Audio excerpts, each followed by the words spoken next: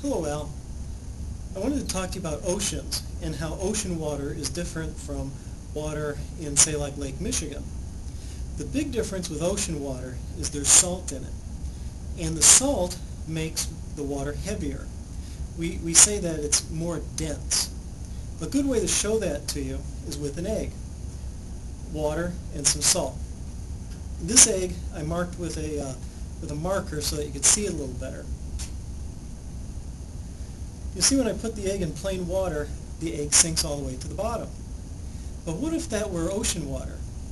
Well, we don't have an ocean here, but I do have some salt. So,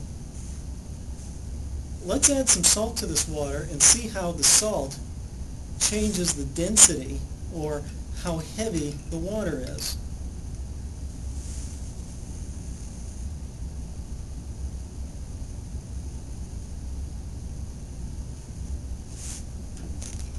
Now this is a little saltier than the ocean would be.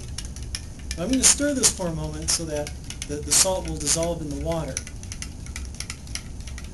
Now the reason the egg sunk in the water the first time was because the egg is heavier than the water. But I added a bunch of salt to this water, so let's see what happens when we put the egg in.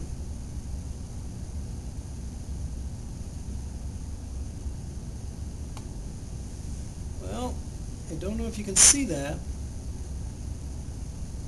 but the egg is floating. And that's because the water is now heavier because of the salt in it. So that's one of the big differences between ocean water and regular water. So hope that helps you understand it, Al.